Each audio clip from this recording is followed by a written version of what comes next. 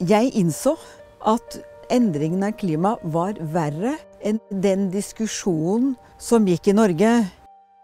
Jeg fulgte med på temperaturstigning på Svalbard, avsmeltningen i isen i Grønland, og så at dette gikk jo fortere enn eh, prognosene. Vi kan ikke overlate en verden som utvikler seg i den retning som vi ser nå.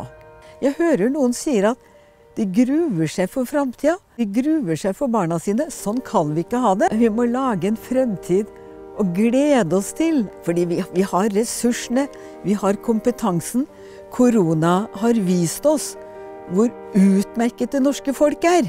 Så dette klarer vi.